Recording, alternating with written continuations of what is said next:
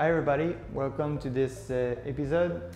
Today we're gonna um, set the payload and the tool center points of the dual gripper.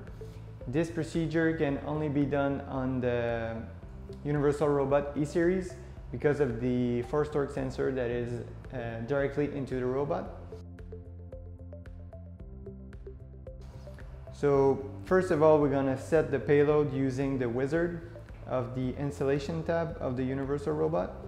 So I'm just gonna click on the wizard tab. Um, basically what we have to do is to uh, set four different positions in order uh, to set the, the, the, the weight, uh, the payload uh, of the grippers. So I'm gonna set the first position then go on for the second one.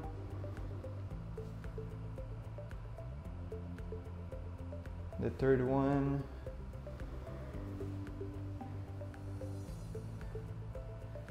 And finally fourth one.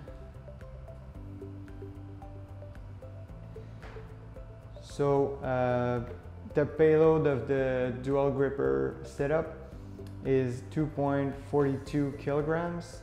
You can see that the center of gravity is, uh, is uh, uh, one millimeter in the X direction, zero in the Y direction, and Z is uh, 59 millimeter.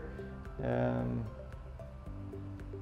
so that's it for the payload uh, setting.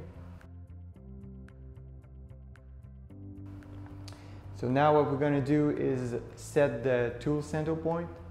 So the tool center point is the, the point where uh, you want to grasp any type of object.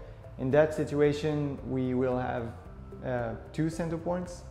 So let's start uh, with the first one. What I usually do is refer to the table that we have at the end of our uh, instruction manual of each product. Um, it's uh, fairly simple. You just look into the table and look for, in that case, dual Hand-E. Um, so in this situation, the uh, first gripper will have a TCP of uh, 154 millimeter in the X direction, zero in the Y direction, and 138 into the Z direction. So I'm just gonna enter that into the installation tab. Uh, so that's it for the first gripper.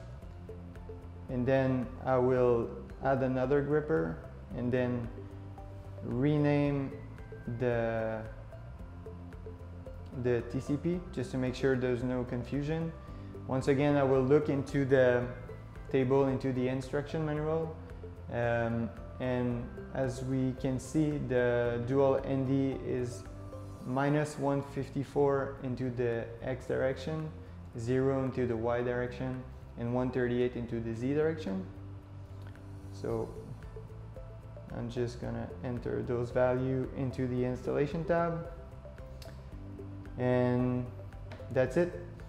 So we just set the payload of the dual gripper and the TCP of both grippers.